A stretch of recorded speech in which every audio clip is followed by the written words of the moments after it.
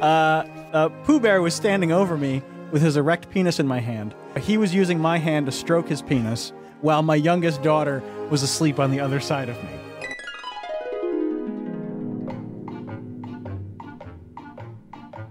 Oh, hello! Let me see those tits. I paid for them. I want to put my honey between those tits. Stephanie explained, I told him to stop and get out of the house. He refused. You bitch! He then came back and did the same thing, insisting I masturbate him, or he would wake Lulu up. Oh, there's honey in my trousers. Oh, look what you did.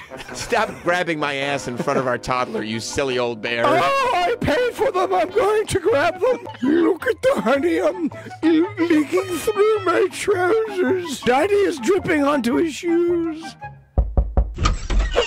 How you doing? I'm Peggy Schickle. I love to get down all my knees and suck that big Winnie the Pooh dick. Oh, hello. Give me twenty dollars. You can stick it in my butt crack.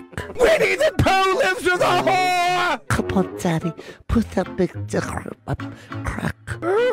Come on, fuck me harder, Daddy. Fuck me harder. make me come. Give me that. Come on, fat me up. Oh, I'm going to come. Come in my mouth. Come on, put it in my mouth. Make a baby inside of me, Daddy. Oh, I, I sure do love when you stick, stick it in my mouth. What's wrong with your mouth? What's wrong with your.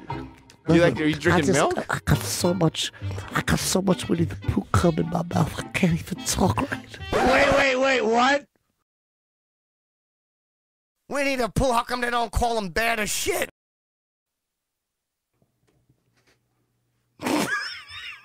We're gonna continue on with that. That's the end of that bit.